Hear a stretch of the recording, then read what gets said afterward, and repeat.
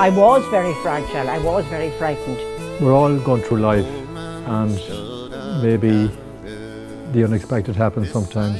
I was in hospital in the in November before I came back. I couldn't walk, you know, I couldn't load bear. I was very stressed about what was going to happen in my future. We could support people at home for as long as they needed to be supported. I was having this hope that I would get home and I desperately wanted to come home to Ireland. We have the power to do that, to change somebody's life fundamentally for the better. I'd heard about Safe Home Ireland for a number of years from my cousin first, who had who'd given me something about it on the paper. And I just thought, oh gosh, a place in Mayo, they're not going to be dealing with someone like me. Safe Home is about supporting people that have given so much to this country. Those people did more for us than than we'll ever know. But I think once I spoke to Safe Home Ireland, Marianne, I just felt the love. I felt the love from that very first meeting. And every time I got scared, and sometimes I got too scared to even ring Marianne about something, you know, a form I got in, and suddenly I saw something in the form that frightened me and said, oh, you know, the fear was in me. I was, I was very uh, fragile, really. I, I really desperately wanted to feel that Safe Home Ireland could help me home, to get home.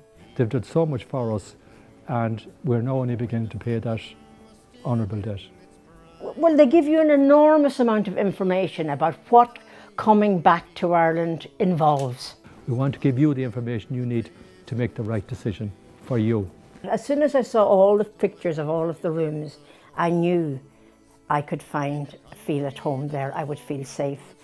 I just feel I died and, you know, and landed in heaven. And that's why Safe Home, I think, has worked so well because we have brought people back to as near as possible where they came, no matter where in Ireland they came from. Safe Home Ireland guided me home. They took me home with love, with care. I felt very fragile and I felt I was in very, very safe and loving hands. Safe Home Ireland help Irish immigrants return to the land they love. Please share this video with somebody that needs to know.